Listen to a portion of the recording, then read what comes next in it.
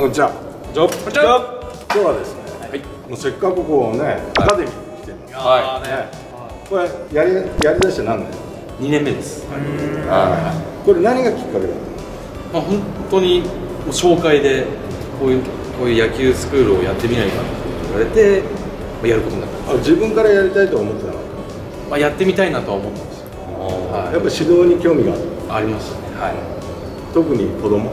子供ですね。やっぱり僕、まあ、9年間プロ野球生活でやらせていただいたんですけど、えーそこでいろんな経験したことをこれからプロを目指す子供子供たちに何か伝えていけたらいいなという、ここのアカデミーの名前は何？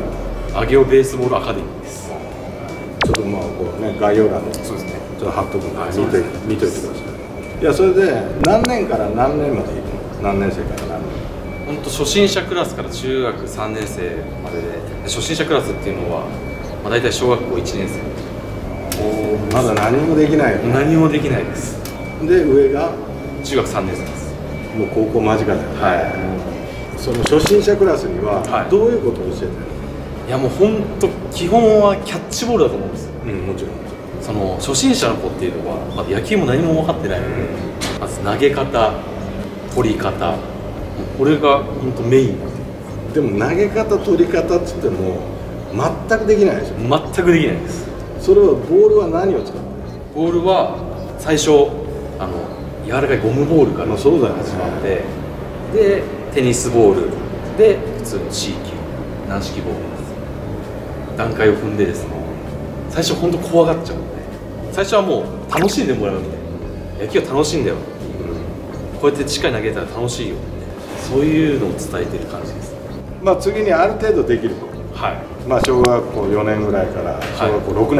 はい。ぐらいだったらある程度形になってくる。はい。そのところへんの指導法っていうのは何かある？指導法はまあ僕の中では低学年、まあ、4年生までは楽しんでもらって全然構わないんですよ、でもやっぱ楽しんでるうちにでやっぱ試合にも出るようになってやっぱ悔しい思いするじゃないですか、その悔しい思いをしたんだったらこう練習をしてこう上手くなってもらいたいんでそういう自分でこう意識上手くなるためにどうしたらいいっていうのを考えさせたいんです。よで僕が、まあ、一応教えてはいるんですけどこう一方的に教えるんではなくて本人が思ってなかったら絶対頭に入らないんです。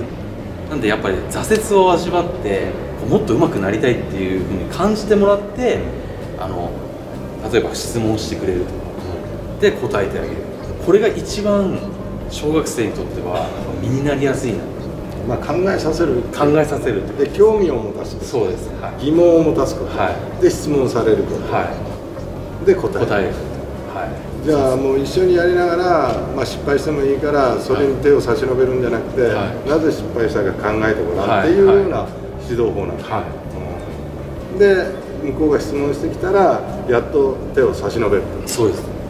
はで中学生、い中学生はもう本当まあ、もうある程度できるようになってきてるよね、はい、ある程度できるようになってきてて本当中学生と小学生と違うのは自分が強くなってくるんです。生意気になってくる。生意気になってくる。これできるようになったら天狗になるよ。そうなんですよ。そこをもうへし折っておお前このままじゃ絶対高校行っても通用しないぞっていう怒るんだ。分からせるんです俺はこれでいいって思って結構多いんで、はそれで満足。だ、ね、い、このままいくと。そのまま行ったらもうそれ以上伸びないとか大体こうちょっと見てて分かるようになってきた。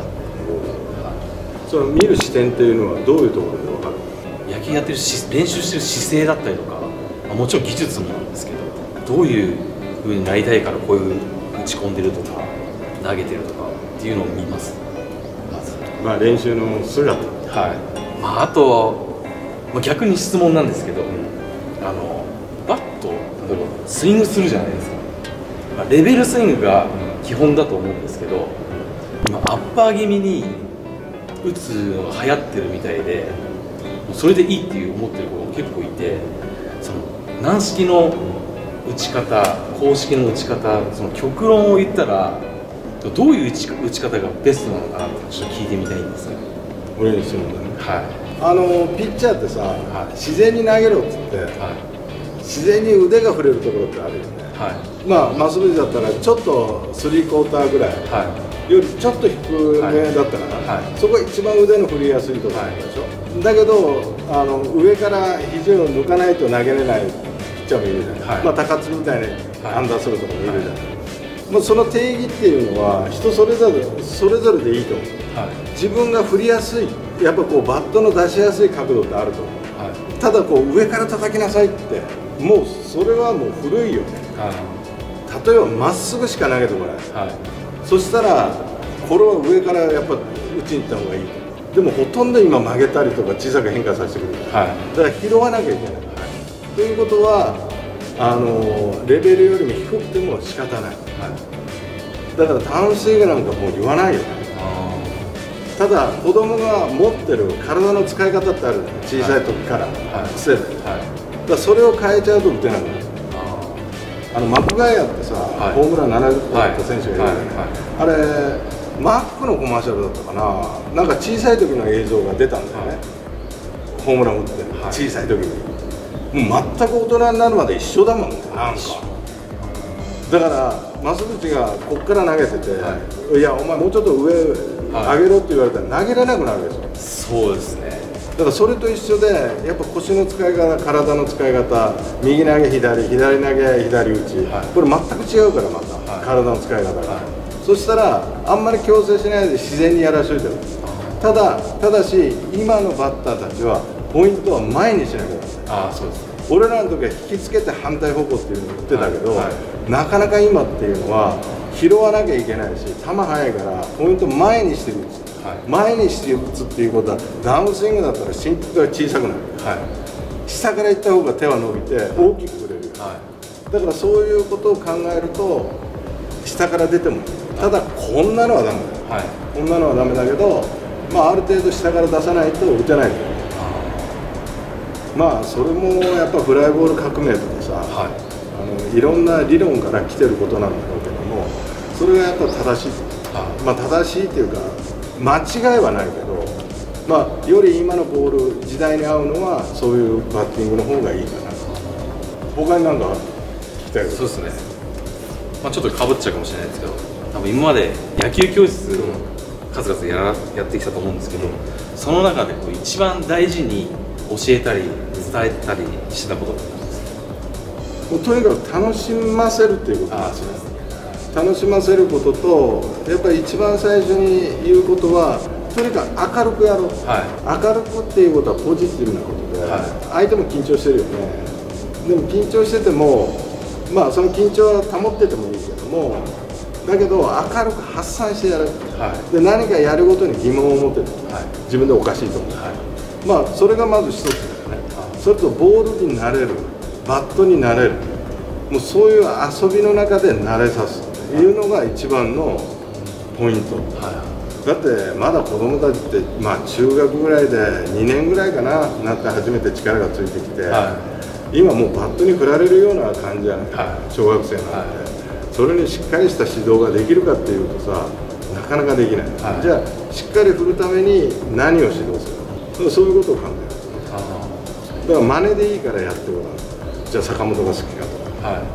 誰がかっこいいとか、はいいや坂本はこの右打ちかって言ったら、い、や左って。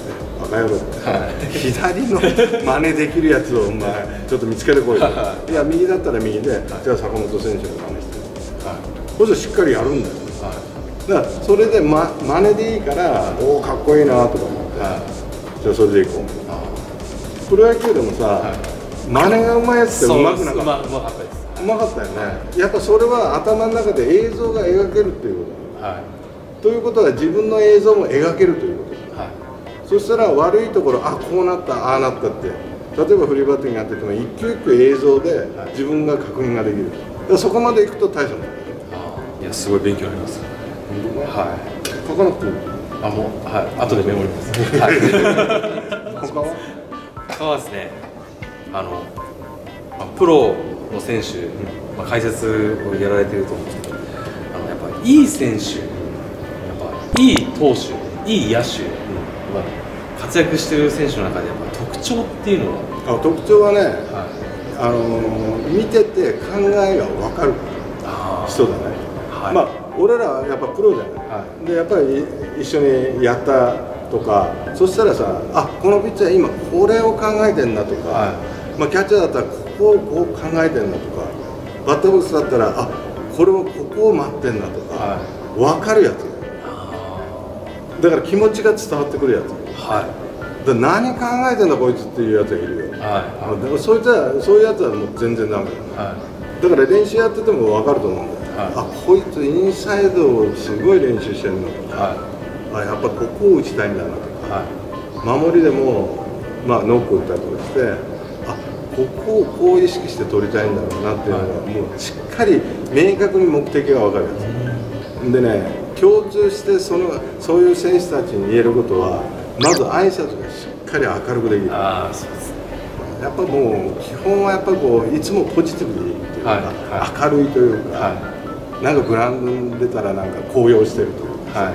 そういう選手がやっぱいいよね、あまあ、コミュニケーションを取る一発目の作業ってさ、はい。やっぱ挨拶はこれが明るかったらさ、はい。常に明るくてね。おお今日もお前元気だなって、はい。こっちも笑顔になる。いそうですね。はだから暗いとさあれ何があったのかって人に気を使わせるじゃない、い。はそういう選手はダメ。いそうですね。だからそういう選手になってほしくないし明るい挨拶したら明るくこっちも返すしコミュニケーションが取れる。はでやっぱ社会に出てもコミュニケーションっていうのはすごく大事なそうです。第一歩だいから、はね、スポーツやってるんだったらそういうことを大切にしいはい。